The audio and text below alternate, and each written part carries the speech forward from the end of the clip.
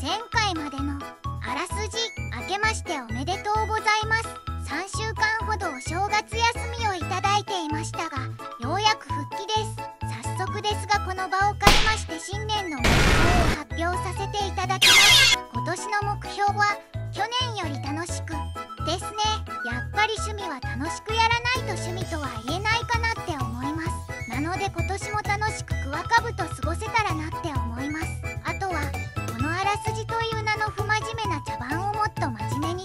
と思っていたのかしません今年もアクセル全開 VTEC 入れっぱなしで駆け抜けるぜ次回ろうちゃんの趣味日記デリシャスは？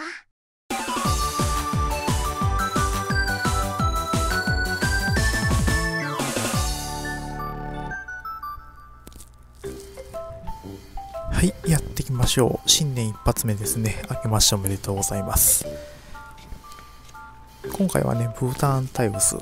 のあんまり大きくなかった組ですね。大きくなかった割にね、結構時間はかかっちゃったんですけどね。3匹ほど掘り出していきたいと思います。で、禁止便はですね、800と1200。で、それからもう一回1200ですね。一応これね、えー、と1200っていう表記で容器を買ってるんですけどね、まあ、大きさ的には1リッターとね、大して変わりがないんでね、1リッターでっ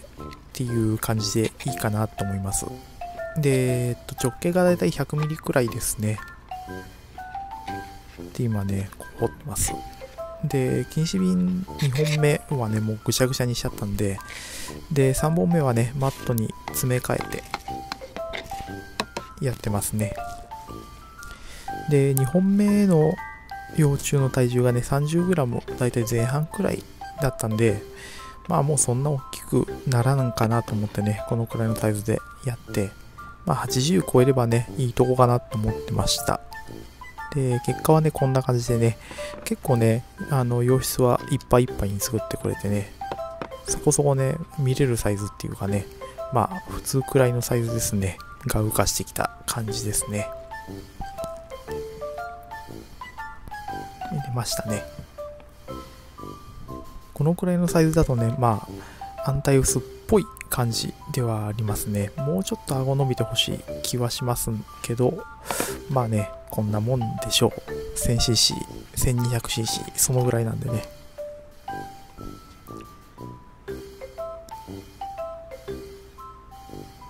でね、これがね、83.5くらいだったんですよね。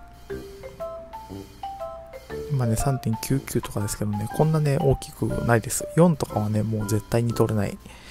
感じだったんでね、これはね、83から3.5くらいのね、間でした。で次もね、2匹目ですね。もうね、タイペスト種をね、こうやって食い破っちゃってね、もうタイペスト種の意味が全くなくなっちゃってますけど、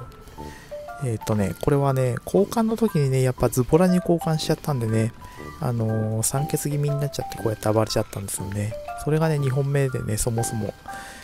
失敗しちゃった原因なんですね。2本目ね、もうちょっとうまく交換してやってれば、85くらいのが出たかもしれないんですけど、まあ、たらればの話なんでね。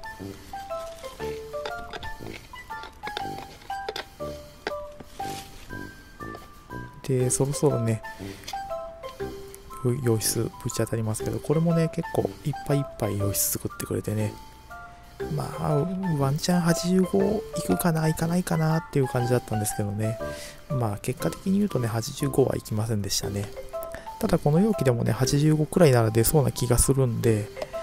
まあ、次使うかわかんないですけどね、このくらいの容器で85出てきたらコスパいいかなとは思いますけど、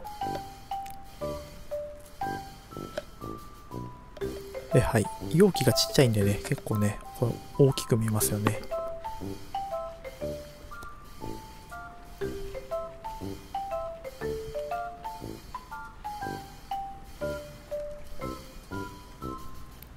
はい、出てきました。大きさ的にはね、ちょっと前のやつとあんまり大きさ変わらんかなっていう感じで。これだったかな？これだったか1匹前のやつかね、どっちかね、ちょっとお腹がこっちかな左のね、お腹がちょっと収まりがね、あんまり良くないですね。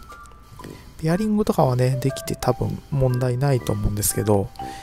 あんまりね、次の類題ではこういう個体はちょっと個人的には使いたくないかなっていう感じですね。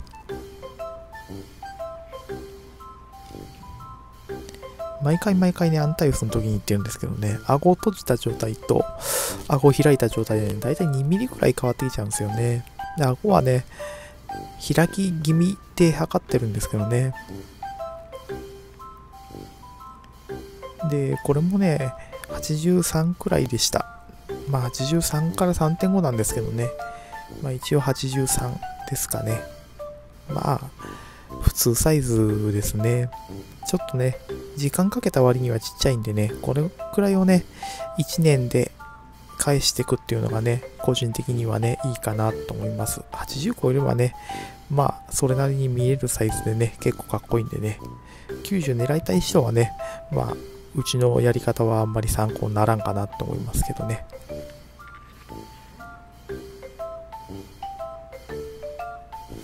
で、ここから3匹目ですね。これはね、元からちょっと掘ってあってね、で、成虫出してあったんですけどね、それをね、あの、もう一回、今ひっくり返してますね。噛まれてますね。あんまり痛くなかったですけど、全開でね、噛まれるとね、結構アンタイオスは痛いですよね。でさっきのよりはね、ちょっとちっちゃいかなっていう感じですね。1匹目よりね、2匹目、3匹目の方がね、顎はちょっと長いかなっていう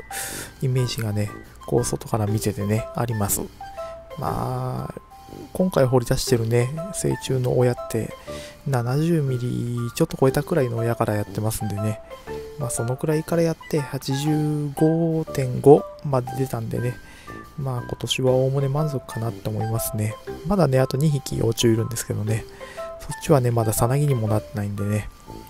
ちょっとどうなるかわかんないですけど、幼虫自体がそんなに大きく見えないんでね、まあ、あんまり変わらないかなと思います。このくらいのサイズがね、いっぱい出てきて終わりかなって。で、3匹掘り出してのね、まとめですね。こうやってね、並べて、手のひらにね、あの、上に乗っけるとね、やっぱこのね、黒光りしたね、ボディと、ね、横幅。やっぱね、かっこいいっすよね。最近ね、動画はね、アンテばっかなんですけどね、まあもともとアンテが好きなんでね、こうやってアンテの動画ね、まあこれからどんどんね、増えるんかなと思いますけど、まあ飽きずにね、見ていただけるといいかなって思います。はい、ということでね、新年1回目のね、動画はこんな感じでね、締めていこうかなって思います。うん、やっぱね、もうちょっと顎伸びてくれるとかっこいいっすよね。というわけでね、今回はこんな感じで終わっていこうかなって思います。またですね、今年もよろしくお願いします。次回の動画2週間後ですかね。またそちらの方もね、よろしくお願いします。